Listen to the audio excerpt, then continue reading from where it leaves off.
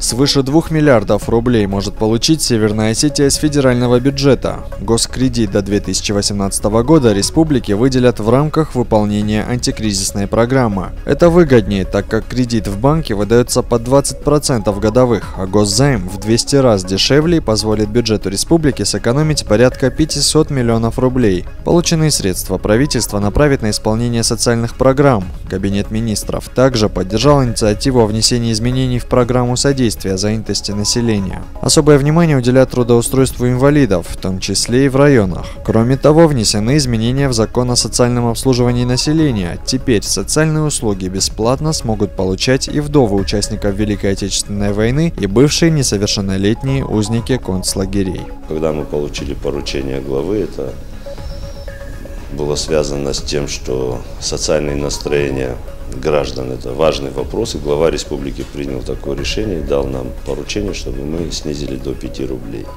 И перерасчет сделали с 1 января 2015 года.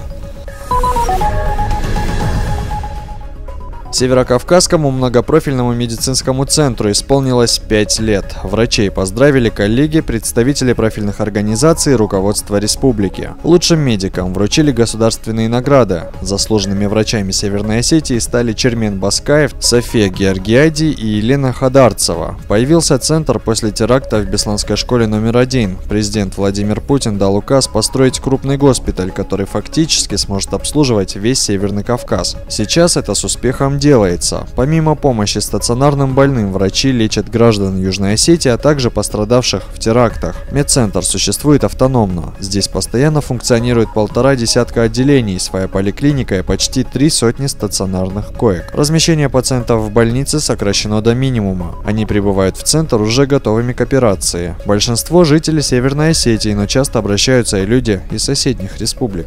Без оборудования нельзя, но главное не оборудование, главное люди, которые умеют и хотят на нем работать. У нас есть и оборудование, и люди. У нас много отделений с небольшим количеством коек. Мы работаем очень быстро, мы стараемся долго не задерживать больных, лечим их очень интенсивно.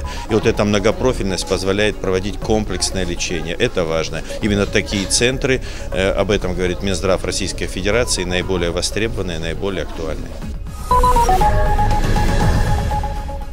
Северостинские спасатели провели очередные учения. В этот раз, по легенде, им приходится оказывать необходимую медицинскую помощь пострадавшим в дорожно-транспортном происшествии. По заданию участникам соревнований нужно максимально быстро извлечь заблокированных пострадавших из машины. Лучшим в своем деле стала команда специализированной пожарно-спасательной части. Именно они будут представлять нашу республику на региональном этапе. Второе и третье места достались пожарным частям номер 7 и номер 1 соответственно. Очень часто наши ребята ребята выезжают на дорожно-транспортные происшествия, где непосредственно оказывают э, первую помощь пострадавшим, демонтируют машины.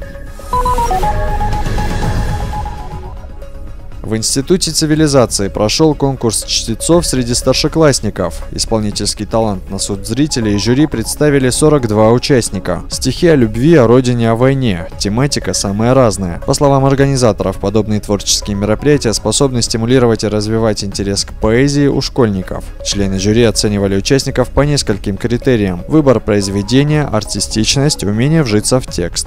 Победители конкурса получат призы в виде финансовой поддержки на образовательные услуги услуги, предоставляемые институтом. Организаторы планируют сделать конкурс ежегодным. У многих выбор стихотворения очень интересен. Это вот э, раскрыть многогранности самого поэта и тематику.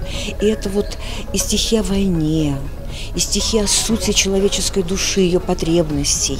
И вот это очень приятно, что вот как слово наше звучащее отзовется, оно вот сливается желанием поэта донести до нас то, что он хотел нам передать. Я считаю, что молодцы сегодня дети, молодцы.